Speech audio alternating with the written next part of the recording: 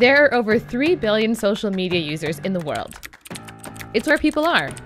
Shouldn't your business be there too?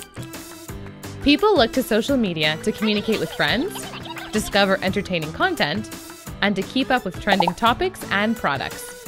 To grow your social audience, your business needs to post interesting and valuable content regularly on multiple platforms. Social moves fast. This means your content should also be timely and relevant. However, your strategy shouldn't stop there. Tracking and analytics will let you know how many people have seen your posts, allowing you to measure your success.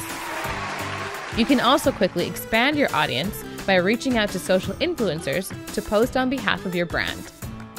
Ensure your customers think of you and not the competition. Start building and engaging your audience today.